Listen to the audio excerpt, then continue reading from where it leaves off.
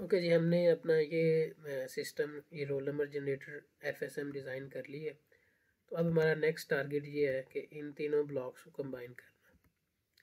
इस टाइमर को, इस रोल नंबर वाले को और इस मल्टीप्लेक्सड सेवन सेगमेंट्स वाले को। और उससे जो हमारा बनेगा सिस्टम वो ये बनेगा।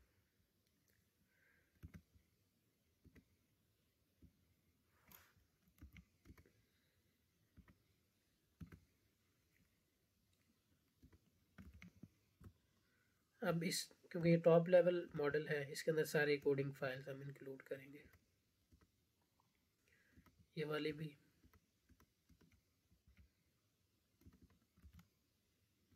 और जो ये अभी जनरेट की है।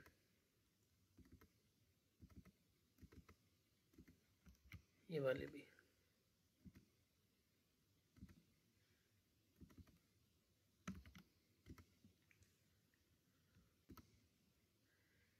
इसको हम क्लोज कर देते हैं।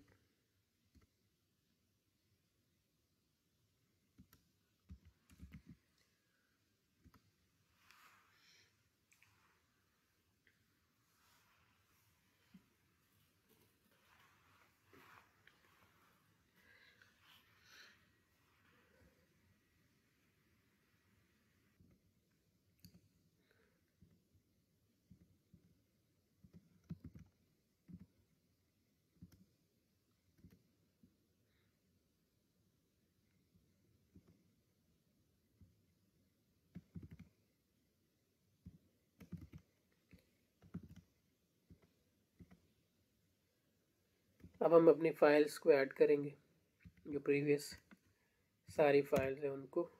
उसके बाद नई फ़ाइल एक जनरेट करेंगे। कंस्टेंट्स हम एंड पे ऐड करेंगे।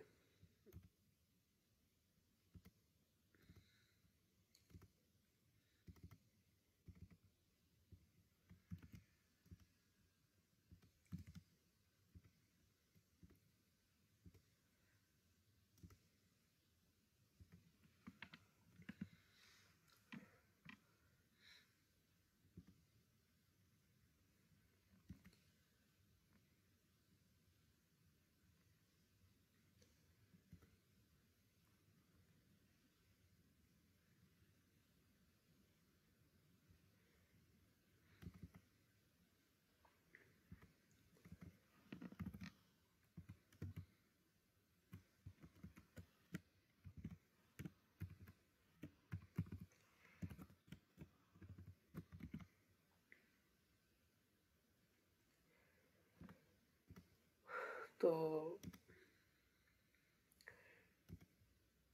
इसकी सारी इनपुट्स और आउटपुट्स वही हैं जो ट्यूटोरियल थ्री में हमने डिस्प्ले रोल नंबर वाला सिस्टम डिज़ाइन किया था जस्ट एक एक्स्ट्रा है डायरेक्शन की। तो मैं उसी फ़ाइल को दोबारा यूज़ कर लेता हूँ ट्यूटोरियल थ्री से।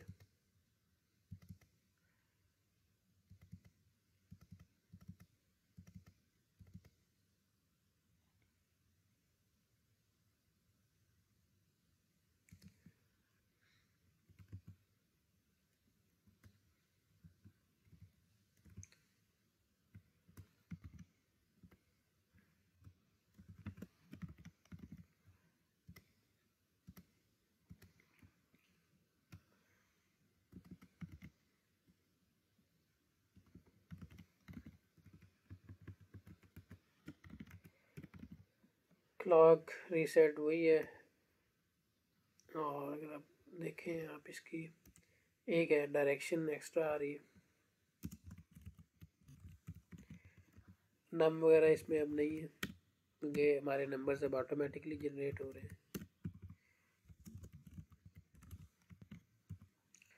सेगे टू जी और ए एन भी है। इसकी भी हमें ज़रूरत नहीं है।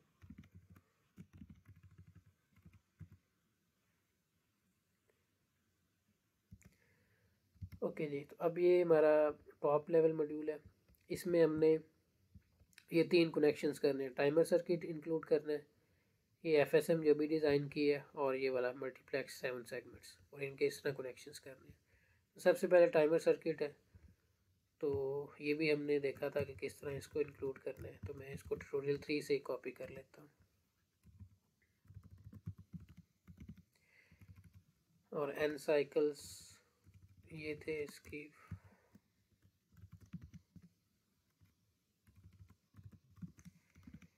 अब क्योंकि हमने ये पॉइंट वन मिली सेकेंड का डिले था, अभी हमें चाहिए वन सेकेंड का तो वो था, उसकी वैल्यू ये आती है। हंड्रेड और आगे सिक्स ज़ीरो तो मैं इसको कॉपी करके यहाँ पे रख देता हूँ। उसके बाद हमने ये कंट्रोलर रोल नंबर जो अभी हमने डिज़ाइन किया है, इसको इंस्टेंशिएट करना है।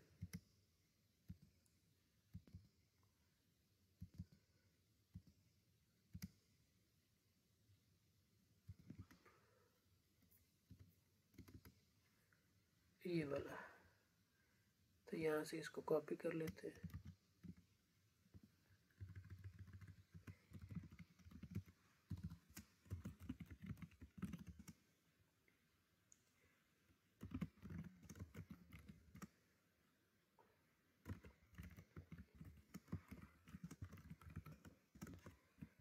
स्टेट मशीन है जो हमारा रोल नंबर जनरेट कर रही है।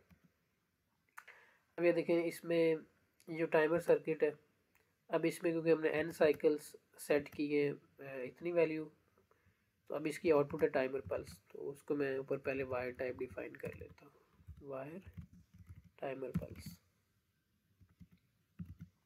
तो वो पहले से यहाँ पे इसकी क्लॉक भी इनपुट आ गई रीसेट भी आ गई डायरेक्शन भी आ गई, और रोल नंबर अच्छा अब इसमें हमारे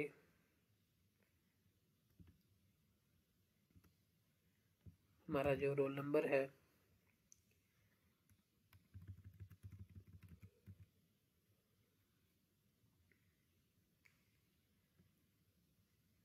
स्टेट मशीन से यहाँ से रोल नंबर आ रहा है। तो अब ये थर्टी टू बिट का एक नंबर होना चाहिए तो मैं इसको यहाँ पे रोल नंबर डिफाइन कर लेता हूँ।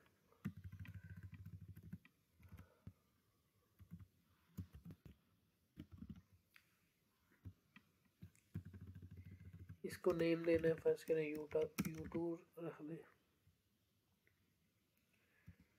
अब हमने ये टाइमर पल्स यहाँ से जनरेट की और इसकी टाइमर पल्स पे इनपुट दे दी। अब यहाँ से जो रोल नंबर आ रहा है, वो मल्टीप्लेक्स्ड सेवन सेगमेंट पे अप्लाई करना है।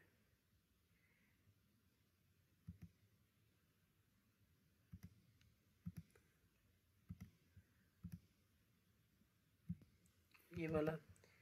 इसको उठाएँ यहाँ से कॉपी करें।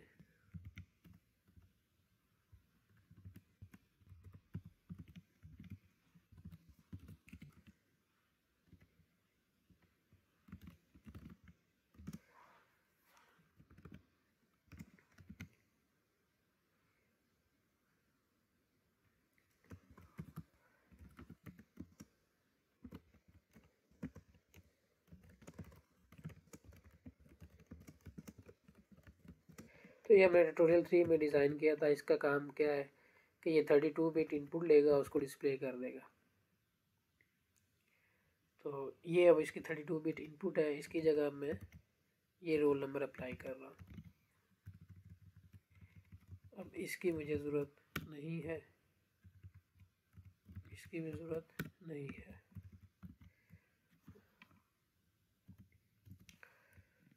तो मुझे टू वायर्स डिफाइन करनी पड़ी एक टाइमर पल्स के लिए। और अब ये जो टाइमर पल्स है अभी एक सेकंड के बाद आएगी, वन सेकंड की। क्योंकि हमने उसके नंबर ऑफ़ क्लॉक साइकिल्स बढ़ा दिए। सेग ए टू जी भी आ गया, आउटपुट पे ए एन आ गया। रोल नंबर इस एफ़ एस एम से जनरेट हो रहा है और इसकी इनपुट पे जा रहा है, यहाँ पे thirty two bit input basically ये रोल नंबर यहाँ से जनरेट हुआ और इसकी जो थर्टी टू बिट इनपुट थी, वहाँ पे हमने अप्लाई कर दिया। अब हम ज़रा इसको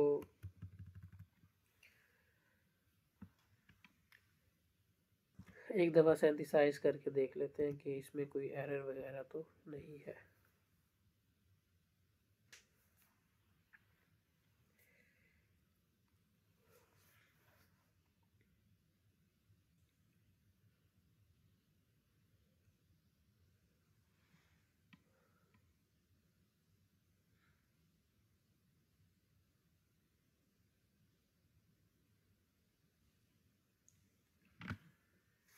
तो ये सक्सेसफुली कंप्लीटेड है। इसमें कोई एरर नहीं है। इसकी स्कीमेटिक डायग्राम एक दफ़ा देख लेते हैं।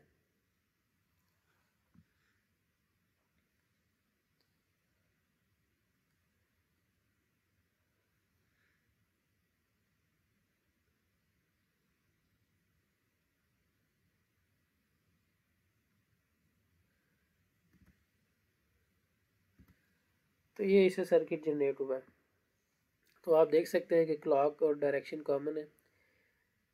हमारा ये टाइमर सर्किट है। ये वन सेकंड की पल्सेस जनरेट करेगा और इसकी जो टाइमर पल्स है, वो रोल नंबर जनरेटर एफएसएम के इनपुट पे जाएगी। और रीसेट और ये क्लॉक सब का कॉमन है। अब ये रोल नंबर जनरेटर एफएसएम ये रोल नंबर जनरेट करेगी according to this state table thirty two bit value बनेगी। और और ये वाला सिस्टम हम ट्यूटोरियल थ्री के अंदर हमने डिज़ाइन किया था।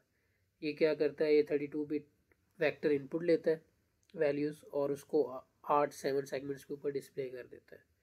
और इसकी जो आउटपुट्स हैं सेग ए टू जी है, वो हमने seven segments A to G पे कनेक्ट करनी है और इसकी जो आउटपुट ए एन है, वो सेवन सेगमेंट के जो कंट्रोल पिन है, वहाँ पे कनेक्ट करनी है। तो आप देख सकते हैं कि जो हमारा फाइनल सर्किट जनरेट हुआ है, वो एग्जैक्टली हमारी इस ब्लॉक डायग्राम के अकॉर्डिंग है। क्लॉक और रीसेट सबका कॉमन है और बाकी हमारी रीसेट, क्लॉक और ये डायरेक्शन। अब ओवरऑल सिस्टम की ये है। रीसेट इनपुट है, डायरेक्शन इनपुट है, क्लॉक है ए एन है और सेग ए टू जी है।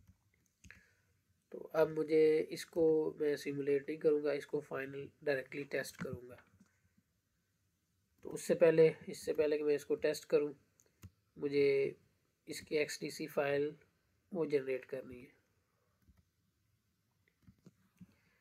My X D C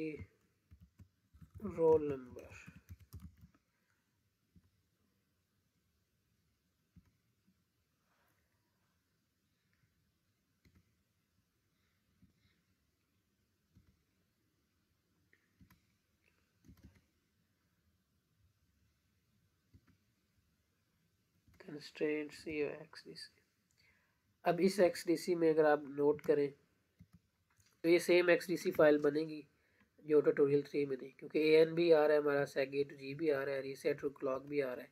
सिर्फ़ एक आ रहा है एक्स्ट्रा डायरेक्शन तो मैं एक्स डी सी फ़ाइल जो ट्यूटोरियल थ्री के अंदर हमने डिज़ाइन की थी, मैं उसी को ही यूज़ कर लेता हूँ।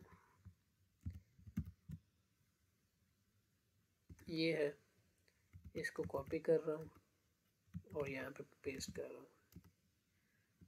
तो ये अब ऑटोमेटिकली मेरे उस ए टू जी वाले ए एन वाले सिग्नल्स असाइन हो गए।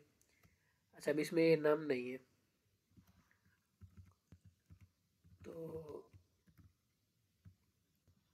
एक स्विच मुझे चाहिए था, ये स्विच ज़ीरो है। इस पे मैं जो है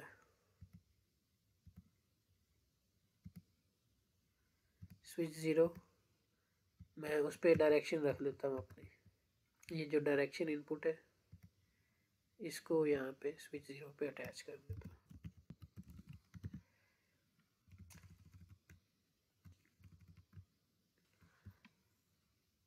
रीसेट भी अटैच हो गई ए एन से ए टू जी भी हो गया।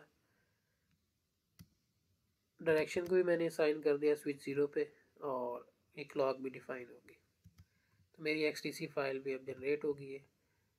तो मैं अब एक दफ़ा डायरेक्ट ही ट्राई करता हूँ कि यहाँ से बिट स्ट्रीम अगर जनरेट हो जाए।